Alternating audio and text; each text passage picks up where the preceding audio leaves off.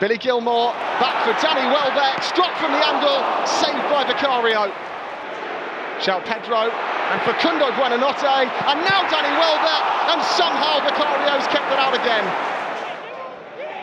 João Pedro, hard to stop when he gets ahead of steam like this, and he's found Jack Hinshelwood, and Hinshelwood has buried it.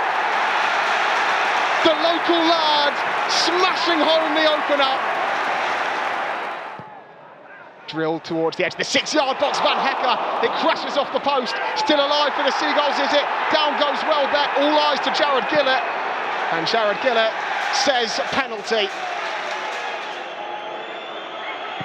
João Pedro, penalty. You know the rest.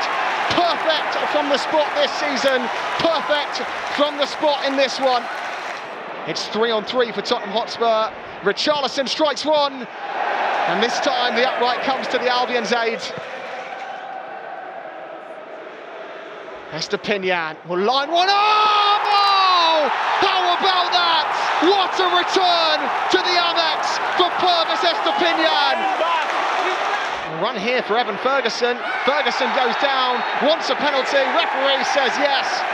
It just gets better and better for the Albion. It's João Pedro, it's four, and the Albion are waltzing their way towards a famous home victory over Tottenham Hotspur. Dunk just caught in possession momentarily, Heung-min Son. Across it goes towards Veliz, and Veliz has found a goal for Tottenham Hotspur. What a fantastic moment for the 20-year-old Argentine. Chance for Porro to deliver. In towards Ben Davies. There's a second for Tottenham Hotspur. Well, they've woken up now, Spurs. Doggy driving forward, numbers joining in for Tottenham Hotspur. It's off the post, runs for Pedro Porro and blocked away. Estupiñán with the perfect block, both arms wrapped behind his back.